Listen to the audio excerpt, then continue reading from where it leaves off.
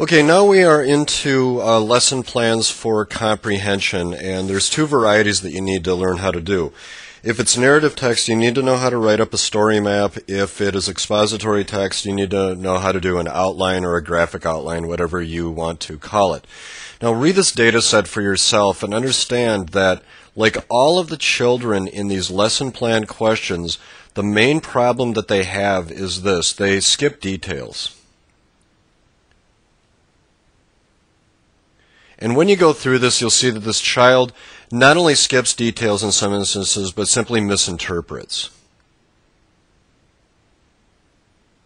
And the type of lesson plan that you're going to do, I need to add a bullet right here, is one that's going to force the child to categorize events into a sequence, like what happened first, what happened second, what happened third, or what happened in the past, the present, and the future.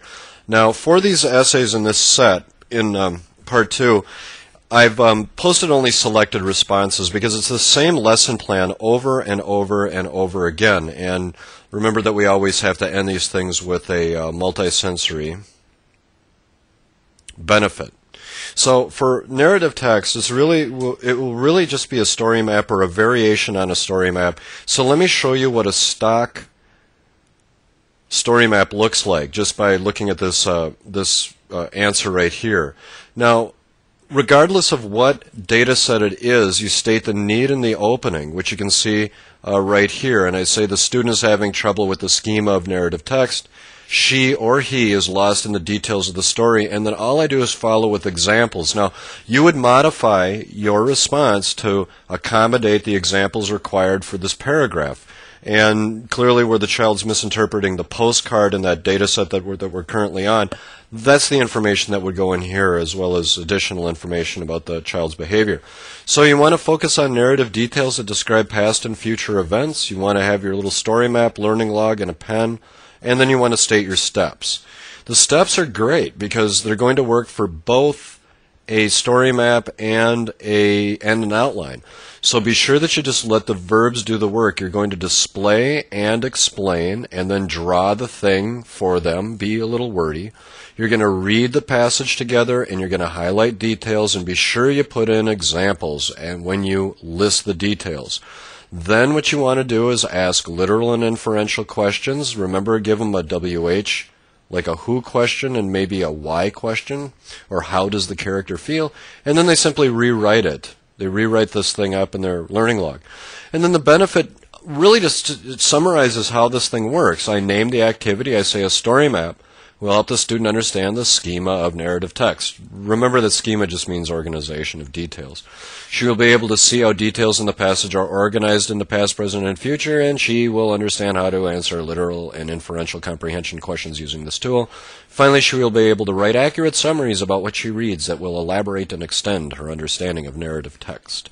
So the point is this this answer is just the stock formula for writing out a story map. And by the way, a an outline. It'll work for both. So I'm going to turn to the next answer uh, that's posted. Let me go back to our workbook and go to the next question. And I don't know how to make this any easier for you, um, except to say that um, it's always going to be a story map here, even with text that's a little challenging, like "Poe's the Fall of the House of Usher," where we have the description of the setting that is actually a metaphor, sort of a larger symbol that is going to foreshadow events.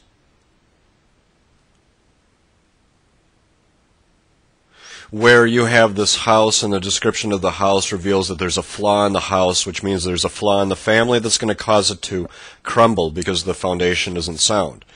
And you can see in here that the child's description is so, so off that it isn't even really related to what the child was reading they were misinterpreting details because that's what they do. So you can do a story map for this or simply what you could term a story frame. And surprise, the way that you're going to describe that story frame will be utilizing the same steps that you will find in uh, the story map. You know, it's just going to be an adaptation, that's all. And and one of the answers too uh, for this one specifically for the Usher House, if you don't want to do um, or describe a story frame, start to just be nimble and, and describe things like T-charts, for example. Here I just described the child's need with this, uh, the usher home, for example. I'm going to be focusing on narrative de- details to describe a metaphor. And then what you can do is if you don't want to do a story frame, which would be a visual graphic representation of what's happening in that setting and in the description where the child draws a picture based on the details and then you check it for understanding. You can do a T-chart. You simply display the T-chart and explain how it reveals metaphors. You have the Usher house and the Usher family because that's what's being compared here. The Usher house is being likened to the Usher family with a fatal flaw in it. You're going to read the passage together and surprise, highlight details, and then give examples. And then you're going to list the details in the T-chart. Whoopee and show them a partially completed T-chart just like this. Uh, ask literal and inferential questions, have the child write it up, and the benefit's identical. It's going to make the schema concrete, the details are visual, the student can make visual connections between details in the story that relate to the house and details in the story that kind of foreshadow events that will take place with this uh, this family. So this is really pretty easy stuff. It, it really is. Okay, next on our uh, little list right here, we have, oh, you've already seen this one, The House on Haunted Hill, a fascinating tale about, well, you know already. So in this one, what you're going to do is a simple story map again. No need to dwell on it because you already know the format. Just write it up and get practice memorizing the format. Uh, same is true for something like this, where you have the scorpion and the snake on the next page. With uh, this one, I mean, it's really pretty easy. It's a story map. oh my goodness, I can hardly believe it myself. I think the one that uh, we should spend a little time on. Turn the page if you if you would. This is a, a dis- we don't even have to spend much time on it. Here we have a description of some kids who are playing chess. And you see in this part right here, ever so imperceptibly, the table leg moved just slightly to the right in this situation, these two kids are playing chess at a tournament, and one kid's going to dump the chess table over because he's uh, because he's losing. And so uh, the child's having problems with uh, inferential comprehension, you know, not understanding that this is foreshadowing events uh, that are going to take place. So what do you do? Oh my, I think a story map? Yes, I think I'm correct, and I think you are too. So just do a story map for that. It's identical to what we were doing. This is one that I'll spend a, a little bit more time on, so I'm not trying to be flip or anything, but read this over and you see it's about a student who um, is pretending to be cool in a new school after having been made fun at at an old school. This description in this part of the essay is about the past where she got made fun of. The child right here is standing in the present, remembering how horrible it was at that old school. That's what we call a flashback. Suddenly, she's finding herself worried about the future because a sharp faced girl who has remembered who she is and the foreshadowing occurs right here. Beth felt her heart sink like a stone. So here we have foreshadowing. And you and I both know then that in the student's retelling, the student has mixed up all these details, has misinterpreted them, and can't sequence. Well, the only thing that you can really do for a child who can't sequence is this you have to do a story map. You have to say what happened first, second, and third, or what happened in the past, the present, and the future. And in this answer, then, this part right here will take care of her lack of uh, flashback understanding.